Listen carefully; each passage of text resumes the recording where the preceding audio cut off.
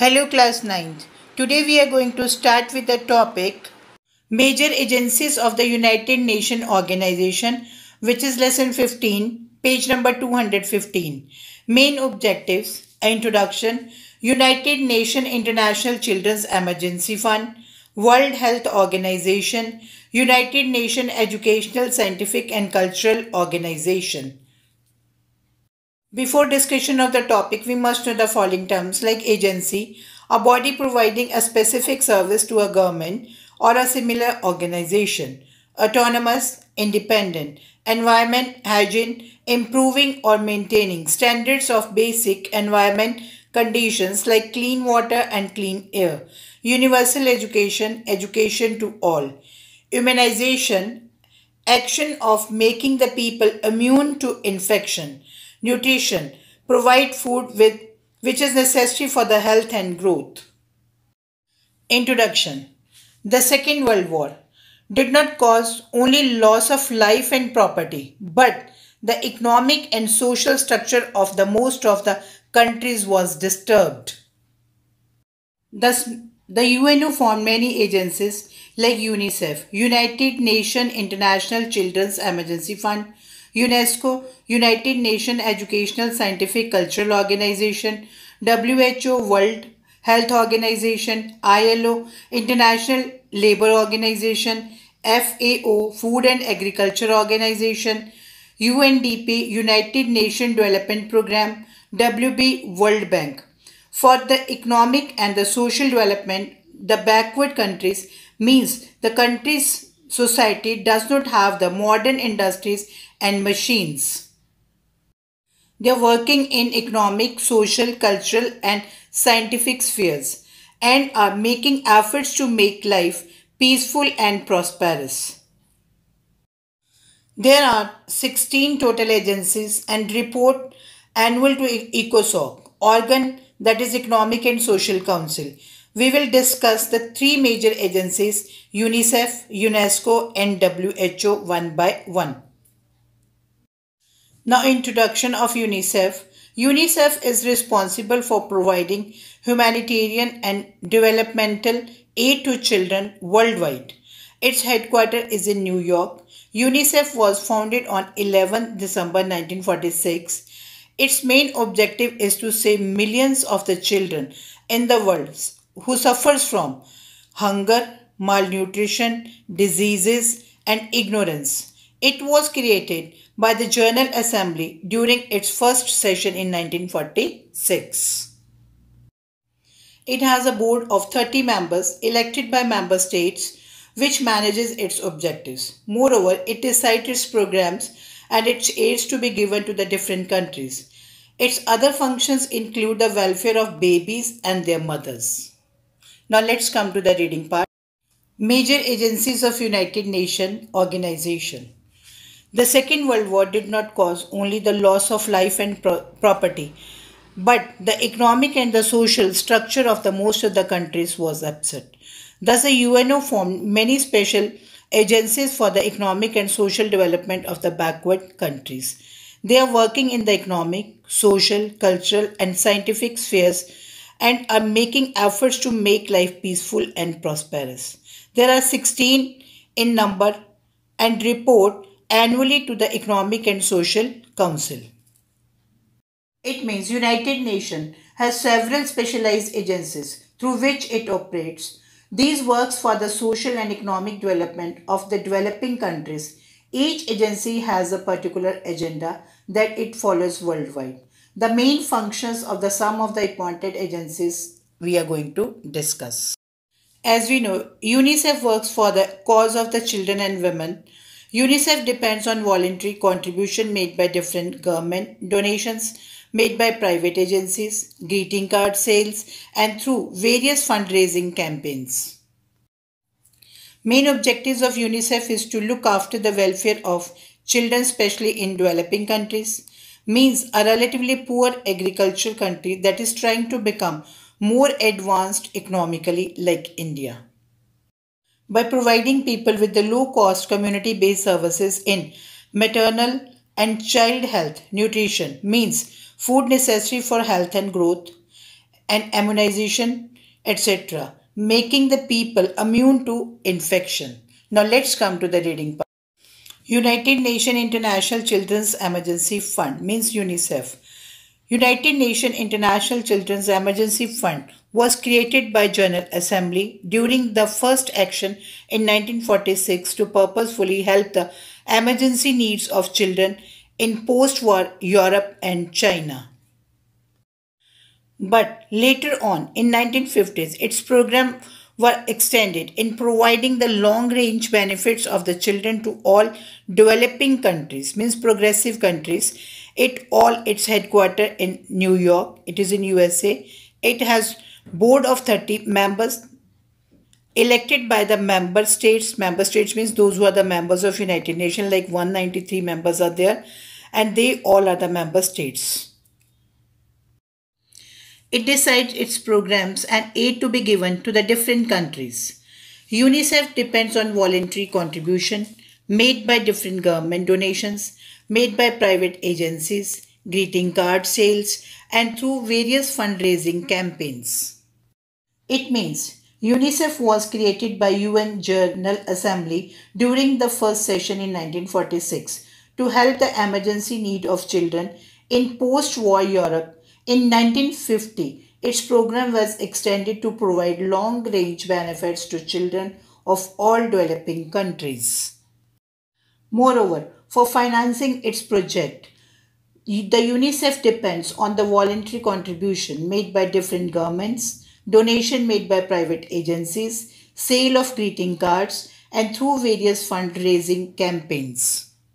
Very important to know. Sale of UNICEF cards is an important source of the income. Worldwide sale of these cards generates funds for the UNICEF which is spent on the program to benefit children. Objectives of UNICEF. The main objective of UNICEF is to look after the welfare of children, especially in developing countries, by providing people with the low cost community based services in maternal and child health, nutrition and immunization, etc. Nutrition means providing the food which is necessary for the health and growth. Immunization means making the people immune to infection. It means the basic aim of UNICEF is to look after the welfare of the children from the countries which are not fully developed by providing the basic services in maternal and child health, nutrition and immunization, etc. Now, functions of UNICEF.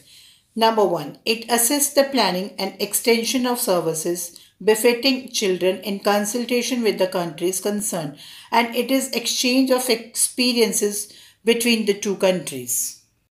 It means UNICEF work for the protection of the children in respect of their survival, health and well-being.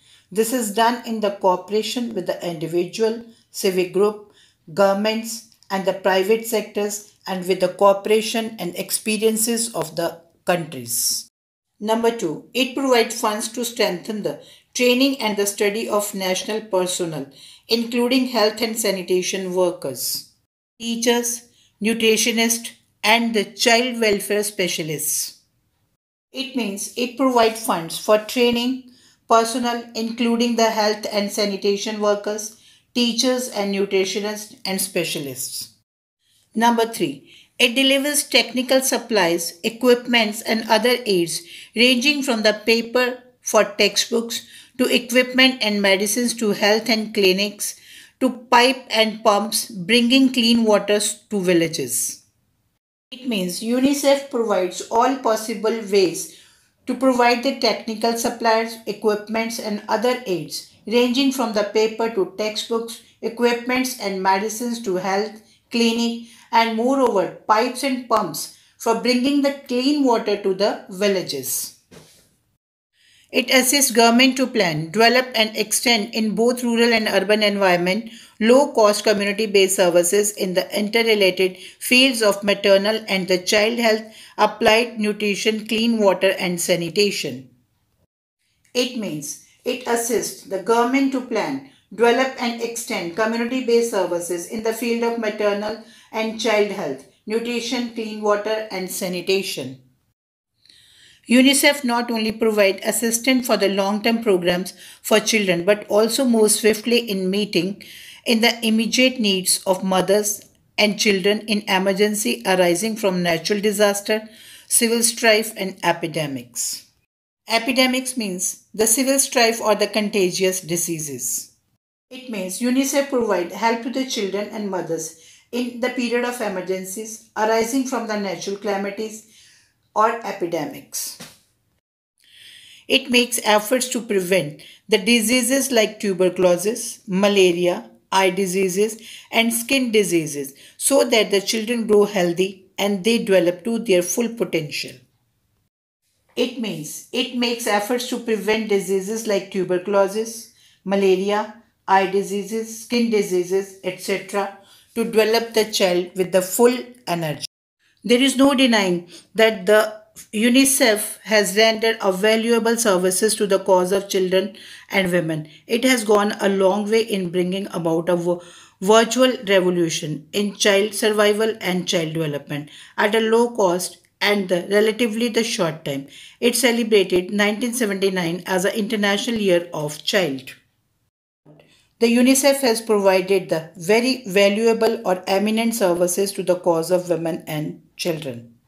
Is bringing many changes for the child development. Provide the child survival at very low price. The year 1979 was celebrated as the International Year of Child. It may be mentioned here that the India get much aid from the funds. She receives milk, medicines and vaccine in large quantities like many developing countries. In 1990, it held a World Summit on the various issues of a children. World Summit means World Organization which was formed in 1945 for the world peace, security and economic development. It adopted a convention to protect children against the exploitation. Exploitation means taking unfair advantages, neglect and abuse. India ratified the convention on 2nd December 1992. There was a meeting in 1990 at world level where the different issues related with the children were discussed. Formal agreement was made to protect the children against exploitation means taking unfair advantages, neglect means not giving the attention towards children, abuse making the misuse of the children. India has given the approval to this formal agreement on 2nd December 1992.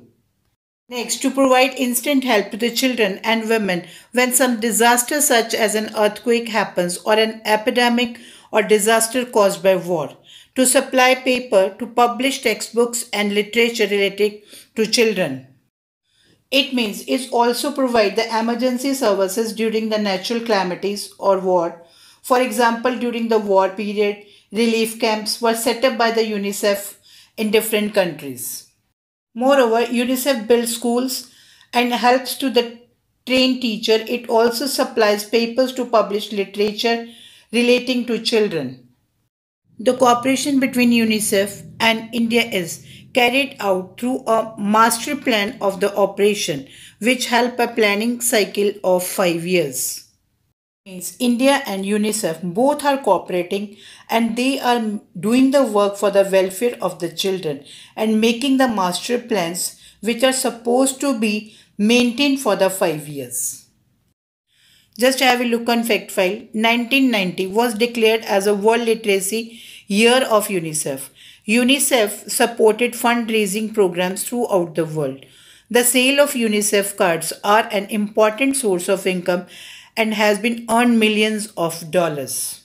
Now children, in this video we will discuss till here and you will have to learn the basic terms and reread this part again. In next video we will discuss the remaining two agencies.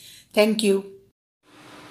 Now we are going to start with the next agency World Health Organization. World Health Organization is the United Nations Specialized Agency for Health. It was established on April 7, 1948. 26 member nation ratified its constitution. April 7 is celebrated as the World Health Day every year. The main objective is the attainment of highest possible level of health by all people. Health is defined in WHO's constitution as a state of complete well-being and not merely the absence of disease or infirmity. WHO is governed by 193 member states through World Health Assembly. The headquarters of WHO are at Geneva in Switzerland. Main function of WHO are as follows to eradicate disease like smallpox, polio, etc. Research work in the field of health. It sets international standards with respect to biological and pharmaceutical products. WHO act as a world clearinghouse.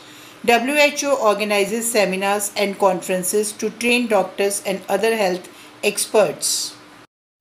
It also assists projects related to clean drinking water and other basic amenities. It also organizes global campaign to encourage healthy life. It aims at fighting disease and preventing them from spreading. WHO plays a major role in providing safe drinking water and adequate waste disposal for all. Let's come to the reading part. World Health Organization objective main objective of WHO is to attainment by all people of highest possible level of health. In WHO constitution health is defined as a state of complete well-being and not merely the absence of disease or infirmity. The main objective of WHO is to good health at the highest possible level by all the people. Health is defined in WHO's constitution as a state of complete well-being and not merely the absence of disease or infirmity. Infirmity means weakness, means all people should be healthy, wealthy and wise. The WHO or World Health Organization came into existence on April 7, 1948 when 26 members of United Nations notified its constitution Till today, this day is celebrated as a World Health Day every year. It means WHO was formed on 7th April 1948. It was 26 members of the United Nations who were informed its constitution. Till date, we are celebrating 7th April as a World Health Day. All the countries of the world which are members of UNO are members of the governing body of WHO which is called the World Health Assembly. It meets annually to decide the policy, program and budget of WHO and to review its work. The executive organ of WHO Assembly is the executive board comprised of 31 members designated by many countries. Means all the member nations who are the members of United Nations, they all are the member of WHO and they are together known as Health Assembly. And presently 193 members are there of UNO and they all are the members of WHO. Moreover, the 31 members designated its board and they annually have their meetings. They watches the programs and budgets of WHO and revive its work. The World Health Organization WHO has its headquarters as Geneva in Switzerland. As we have discussed, the WHO has its headquarters in Geneva in Switzerland. Now we are going to discuss the main functions of WHO.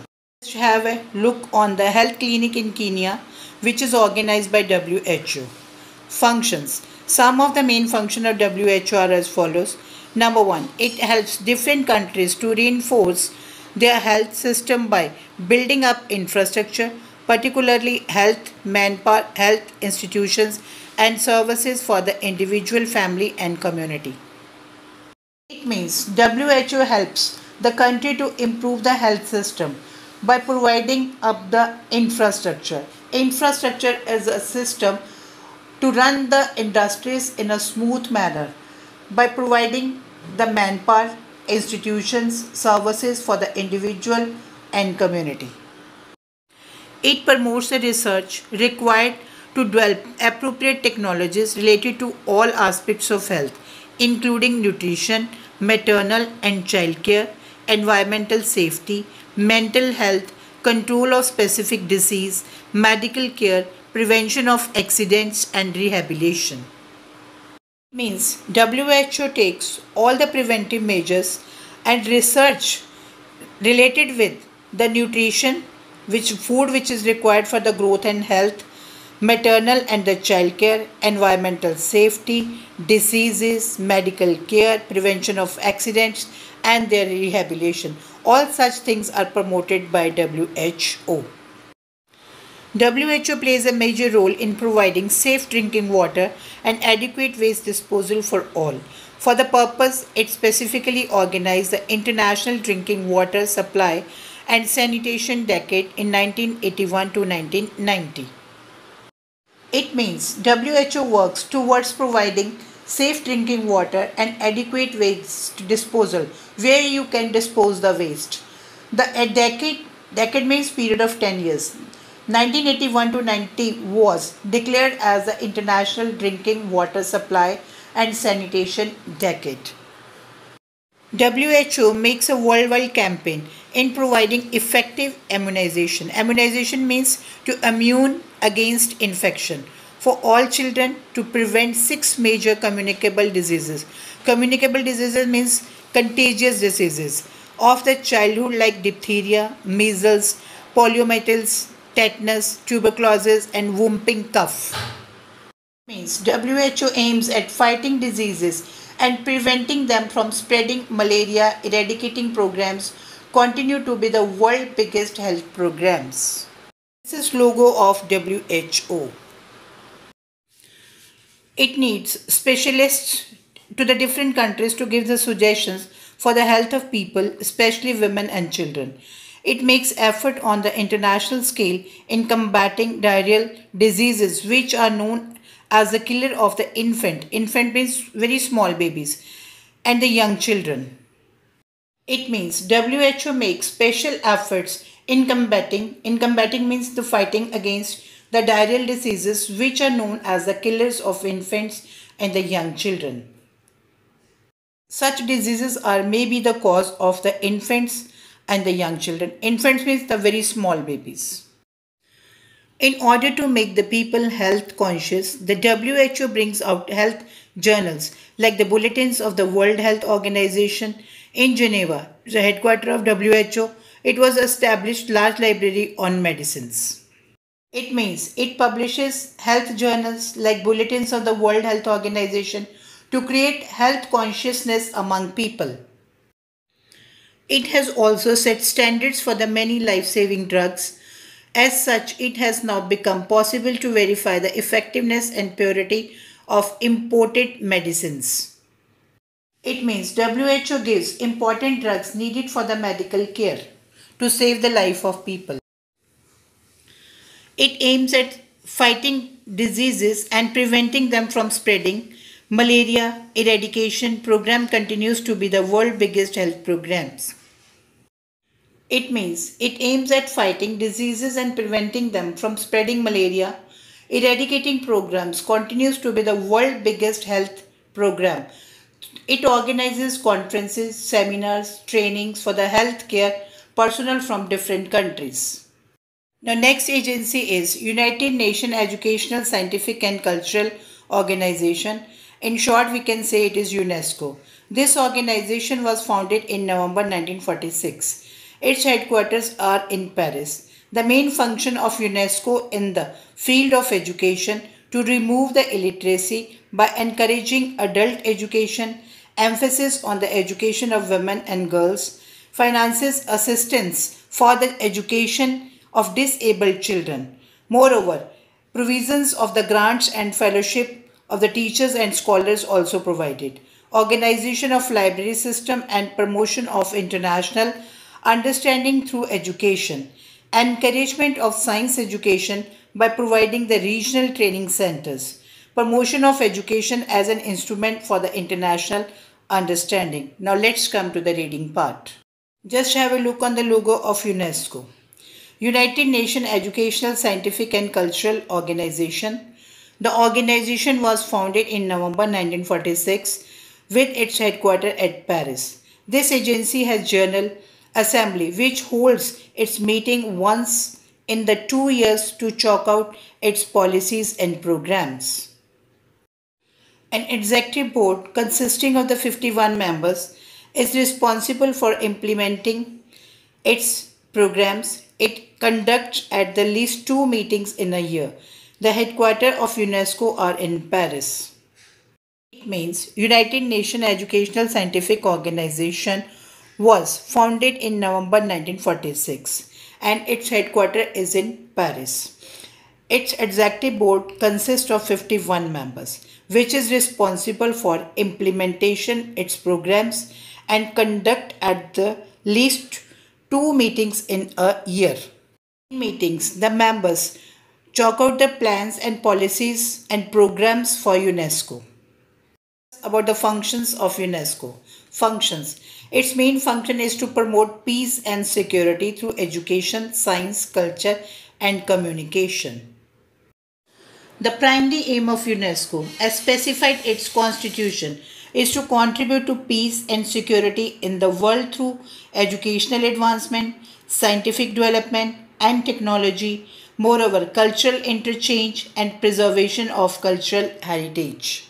Function of UNESCO in the field of education. It makes arrangements to expand and guide the education in different countries of the world to remove illiteracy. It opens school and helps to train teachers, planners and administrators. It opens libraries and make arrangements for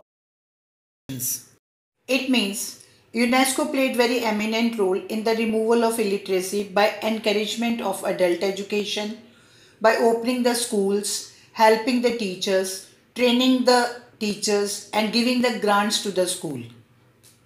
UNESCO also promote the education by opening the libraries and makes the arrangements for the exhibitions for children.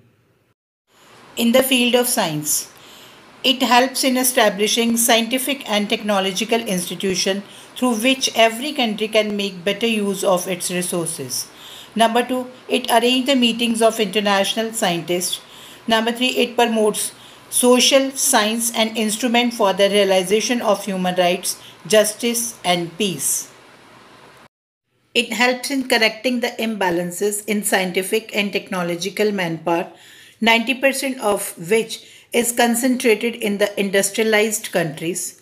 It does not spare even the social and human sciences and focus on combating all forms of discrimination, improving the status of women, and helping the youth in solving their problems. It means UNESCO helps in correcting the imbalance in the scientific and technological manpower that exists because of the 90% of the trained manpower is concentrated in the industrialized center. Moreover, it encourages the studies of the social sciences in order to focus attention on preventing all forms of discrimination, improving the status of women, and helping the youth in solving their problems. Next, in the field of culture, it encourages national and cultural values and promotes the study of development of cultures. UNESCO promotes and encourages the cultural values for the development of the cultures of the different countries. It pays attention to cultural development through the medium of films. It means it develops a culture by the social medias, showing the movies.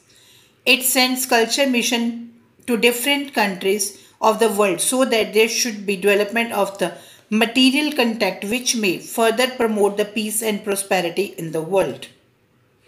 Means UNESCO aims to protect the world inheritance of the culture, books, works of art, and rare manuscripts. It gives encouragement to the artistic creations in literature and fine arts.